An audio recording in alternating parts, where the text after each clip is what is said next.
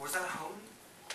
Did I, did I clean myself up and become holy to get the Spirit of God in me? To, to, to receive the Holy Spirit? Was it me that did it? Think about that. That's a good question. Because I'll show you in a minute, it sure wasn't Abram's holiness. It wasn't his righteousness. It was his faith. He believed the voice of the living God. How many of us are listening to the Holy Spirit today? How many of us are listening to the still small voice inside of our heart? And how many of us believe him? How many of us read the Word and believe the Word of the living God? Or do we just toss it to the side and say, well, it's been tainted. It's just a history book or something else? Mm-hmm. Or go to school and we think we get wise through colleges and colleges tell us evolution. And we believe evolution over the Word of the living God. Mm-hmm. Think about that. That's not faith. It's mixed into the church these days, but it's not faith. Faith is believing every word that proceedeth out of the mouth of the living God. Amen. That's what we live by. That's what gives you the power to sustain and endure through what we're going through even now, this world.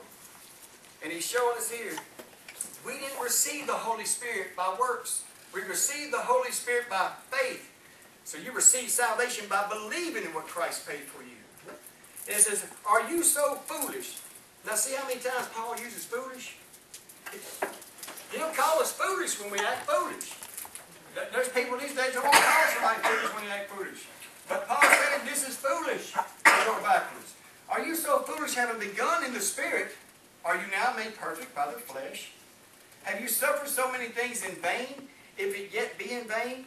He therefore who ministers to you the Spirit and works miracles among you, does he it by the works of the law or by the hearing of faith? Even as Abraham believed God, and it was accounted to him for righteousness, know you therefore that they which are of faith, the same are the children of Abraham. That's why I was reading this. It lets us know who's the children of Abraham. Who's a true Jew? Those who what? Believe by, we all got the same bloodline through Adam. We all came from Adam and then through Noah. Like I said, I got. I want to get on the other side of the ark. I'm not on the animal side of the ark, like evolutionary theory is. So we are grafted in to Israel. Mm-hmm. We're spiritual Israel. However, there is a physical Israel that he's not through with yet because they'll be grafted back in, according to Romans chapter 11, right? Mm-hmm. Y'all know what I'm talking about? Yes. Okay, I don't want to just jump on out there. So it says, Know ye therefore that we, that, that they which are of faith, the same are the children of Abraham, right? Right. So we got the same covenant that we're about to go over. I'm establishing that. Y'all agree? The same covenant in chapter 15 of Genesis that we're about to go through is for you and for me. Amen. And the scripture foreseeing that God would justify the heathen, that's us. Did y'all know that? Praise the Lord. We've been, we heathen. We've been heathen. We ain't heathen no more. We're covered by the blood, but we've been heathen. Well, I know I just tear some self-righteous folks up. I ain't no heathen. What's that preacher up there telling about my heathen for? All you got to do is ask the Lord to just to reverse that little DVD of even this morning's life, and He'll show you that, yeah, in your own right, you're a heathen. but in Him, you're co-heirs with Christ. Amen. But in our own works, we are heathen. We may even talk to our hair and get mad at it in the morning. because we're heathen. Somebody cuts in front of you in Louisiana, you know, God forgive me. most of the time, you may be having a good day and say, God bless him. But most of them say, bless them according to the works. because we heathen in our own heart. But in the blood of Jesus, in salvation, praise God, in justification by faith, amen, we are co-heirs with Christ and made sons and daughters of the Most High God. We're being our Abba Father. But it's because of what He for the cross. If we keep that on our mind, we will reverence Christ. And we will ever before our face. If we start turning to the right, we'll start justifying ourselves in legalism and think that we're pretty good. When we realize that we all came from dirt, that we were made out of clay, that it was Him, what did it say in Zechariah a while ago? It was Him that formed the spirit within a man or a woman. Mm-hmm. It wasn't us. Did we make ourselves? That's what I asked the man last night. Did you make the brain? Did you make the blood vessels? Did you make all the nerve cells? Did you make the moon, the stars, and the sun? Are you the one that keeps the right chemical oxygen mixture so we can breathe every day? No. It's Almighty God. Who are we to question His prescribed order?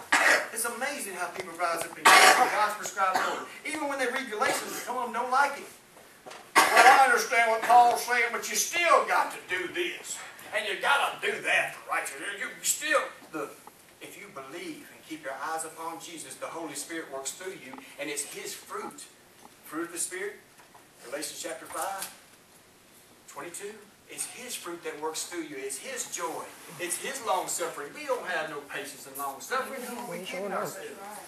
We better be glad that we're justified by faith.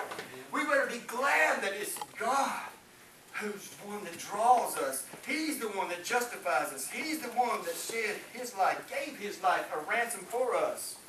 And this is what Paul's trying to tell them. This is the love of God here. And it says, and the scripture foreseeing that God would justify the human through faith, preached before the gospel unto Abraham, saying, In you shall all the nations be blessed. Now you see what how this is going together and why I'm using Galatians. You see what I'm saying? It goes together? Okay. So then they which be of faith are blessed with faithful Abraham. For as many as are under the, of the works of the law are under the curse. For it is written, Cursed is everyone who continues not in all things which are written in the book of the law to do them. But that no man is justified by the law in the sight of God. And this is even the moral law. It is also traditional. Moral law is kept by what? The Holy Spirit inside. He's not going to sin against himself.